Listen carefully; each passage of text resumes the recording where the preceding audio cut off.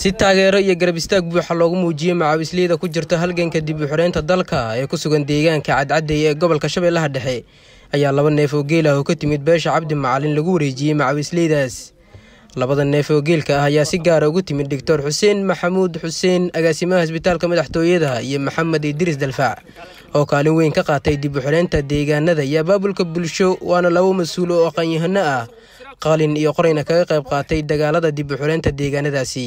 Guushaan hubkuu qaatay inta lay hergelinayo dadkayguna hagaagayo haasaawiyo jeceyl daayey guur uma han weynaado heesna sooma curi doono nabadoon bootaan yuusuf xorey oo mas'uuliyiintaasi u soo wakiisheen in labadan neef oo geelka ah ku wareejiyey macabisleyda ayaa ugu horreynba goobta ka sheegay ujeeddada laga leeyahay in la taageero macabisleyda deegaanka cadcaddeey.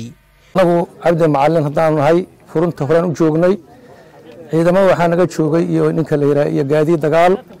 Kuwo kalena maantaan keennoon ku soo biirin oo cusub ciidamo iyo gaadiid dagaal.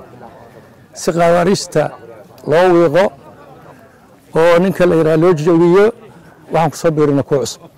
Haddana diyaaraan inaan kuwa kala keeno.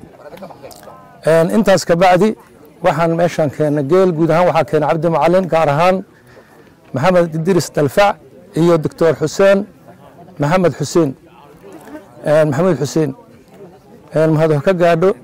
Ujeeddadeedu waa labadaas ninka la yidhaahdo nin. Qoragana garanaysa way kula dagaalamayaan qalinkana way kula dagaalamaan khawaarijta al-shabaab. Maxamed xuseen xamarow khaliif cumar macalin nuur iyo nabadoonno kale ayaa kaga mahad celiyey doctor xuseen iyo maxamed idriis dalfaac garab istaaga ay u muujinayaan macawisleyda deegaanka cadcadday ku sugan ee halganka ku jira dib u dalka.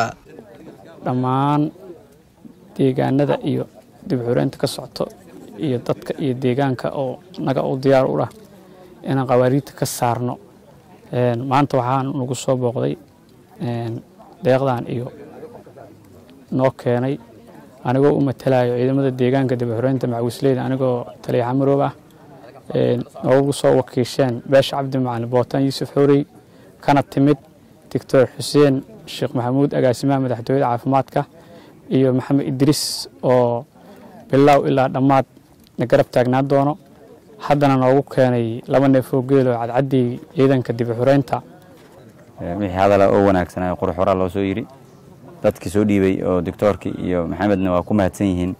Dhiiranaantan ay ku soo dhiirigeliyeen maanta suugada labadan neef oo waaweyn maasha allah ah haddana waxaan ku soo dhaweynaya guddoomiyaha oo nagala wareegayo howshaas sidoo kale waxaan u mahad celinaa doctor xuseen iyo xuseen idriis maxamed idriis labadaas nin oo mas'uuliyiinta ah oo sharafta badan oo maanta gartay inay ciidanka furunta joogo oo walaalahooda oo dhulkooda u dhimanaya inay maanta ay hal maalin suugadood laba neef ugu soo sameeyaan. Aaday ugu mahadsan yihiin boqolkiiba boqol. Waxaan dhihi karaa waxaa waaye rag sharaf le waaye ugu dambeyn guddoomiyaha degmada wadajir oo goobta ka hadlay ayaa si gaara ugu mahad celiyey mas'uuliyiinta doctor xuseen maxamuud xuseen agaasimaha isbitaalka madaxtooyada iyo sidoo kale maxamed idriis dalfaac oo labada neef geela ah u keeneen macawisleyda halkan ku sugan. Waxaan leenahay qaraabada ay ka soo jeedaan minjufada ugu hooseyso ilaa cidda ugu sarraysana waan uga mahad celinaynaa dadkaas ka dhashay nimankaa ka dhashay wiilashaa ka dhasha garashada ay garteen iyaga ayaa ku sharfan reerkooda ayay sharaftu gaaraysaa. Waa sharaf kala gaarayso muxuu ahay dhammaan qaraabadoo dhan. Waxaan leenahay waad mahadsantihiin. Inta soo fasiliteed garaysay ee muxuu ahay soo fududaysay hawshaas ka soo muxuu ahay qaaday soo gaarsiisay ciidamadana iyagana way mahadsan yihiin runtii waxaan rajaynayaa haddii laa yidhaahdo ciidamadan maanta la guddoonsiinayo macawisleyda halkan ku sugan. Muddo dheer ayay halkan ku sugnaayeen waa ciidamada ka howlgalo ilaa rumagood howlgallada ka sameeyo oo ilaa dhulka ka shaqeeyo. Aana rajaynayo wakhtiyada soo socdo. Absalaan julo shaakir warbaahinta dalsan aaga deegaanka dhacday shabeellaha dhexe